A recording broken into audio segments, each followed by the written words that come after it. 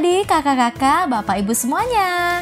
Akhirnya setelah sempat tertunda akibat pandemi, kelas inspirasi Purwakarta bisa terlaksana juga.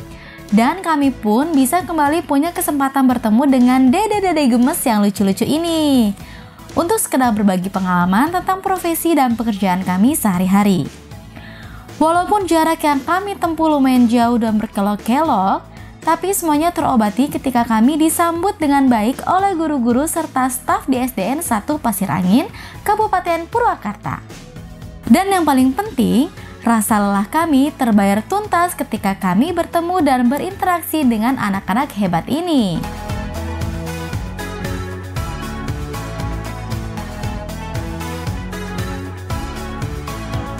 Oh ya, kami juga sempat ngobrol-ngobrol sebentar bersama guru-guru di sini tentang bagaimana keseharian anak-anak di SDN 1 Pasir Angin. Berikut cuplikan ngobrol-ngobrolnya.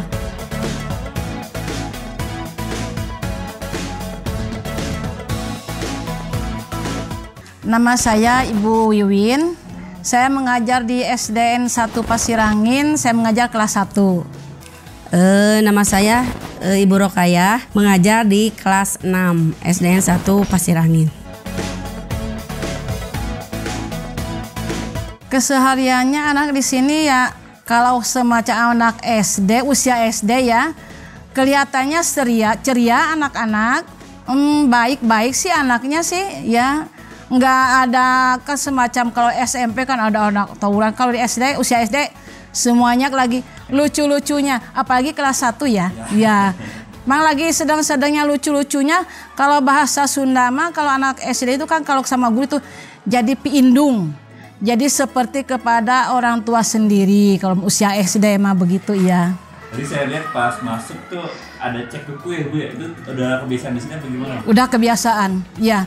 Setiap seminggu sekali, setiap hari Senin pasti anak wajib periksa kuku. Ya. Kalau kada yang gurunya yang rajin suka dipotongin sama ibunya, ibu gurunya, ya, uhum, ya. Kan masuk kelas nggak boleh pakai sepatu bu ya? Ya. Itu juga udah kebiasaan. Udah kebiasaan.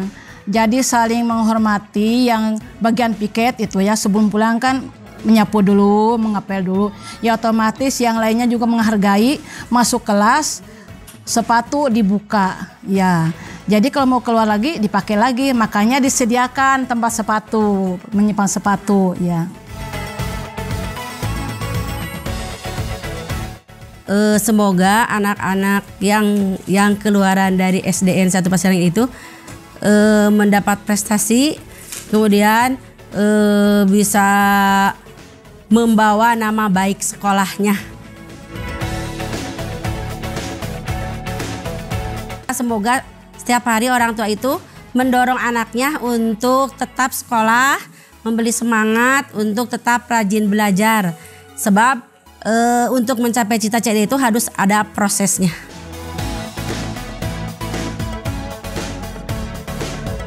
Banyak orang yang mungkin bertanya, ngapain sih ikut acara beginian?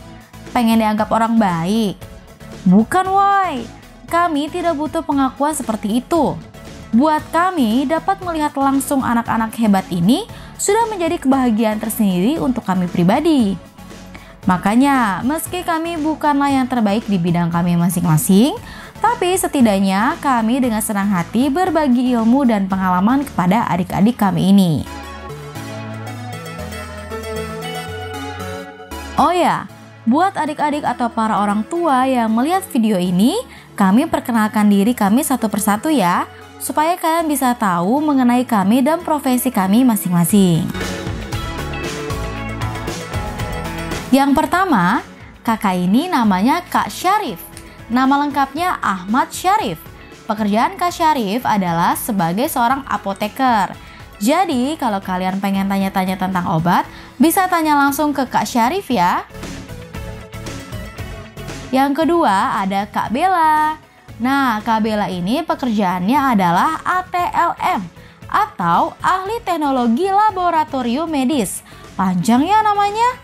Pokoknya pekerjaan Kak Bella tuh ada di laboratorium rumah sakit atau klinik kesehatan gitu. Yang ketiga ada Kak Tiwi. Nama lengkapnya Pratiwi Soni Reda. Pekerjaan Katiwi adalah sebagai Public Health Officer atau istilahnya petugas kesehatan masyarakat. Jadi kalau kalian datang ke rumah sakit atau puskesmas, biasanya Katiwi ada di situ tuh. Yang keempat ada Kak Hapsi. Ingat ya, Hapsi, bukan Hasbi. Soalnya orang-orang sering salah sebut. Pekerjaan Kak Hasbi eh Kak Hapsi ini quality control staff atau orang yang mengurusi, mengawasi, dan memeriksa produk sebelum, selama, dan pasca produksi. Yang kelima ada KOCA atau nama lengkapnya Pamuksa Ratri Ada Dania. Wah panjang ya namanya. KOCA ini pekerjaannya sebagai peneliti loh. Meneliti apa? Silakan tanya sendiri sama Kak Ocha ya.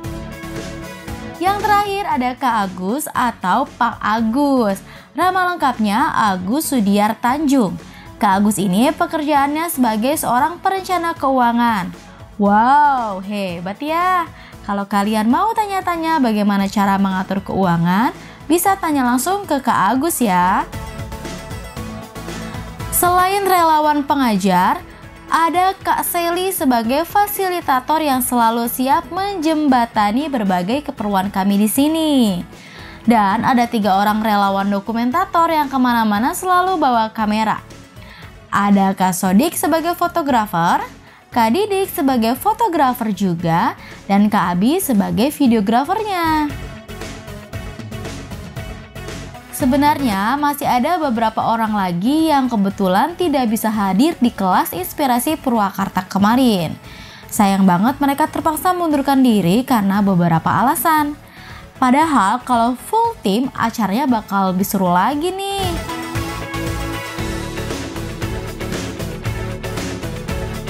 Ya mudah-mudahan dengan sedikit waktu yang kami punya kemarin, ilmu kami bisa setidaknya menginspirasi adik-adik di SDN 1 Pasir Angin. Bahwa ternyata ada banyak sekali pilihan karir buat mereka ketika mereka dewasa nanti. Intinya jangan pernah berhenti bermimpi ya adik-adik. Terakhir dari kami, semoga kami dapat diberi kesempatan lagi untuk bertemu dengan anak-anak hebat di penjuru negeri. Supaya kami bisa bercengkrama dengan mereka dan berbagi kebahagiaan bersama mereka. Amin.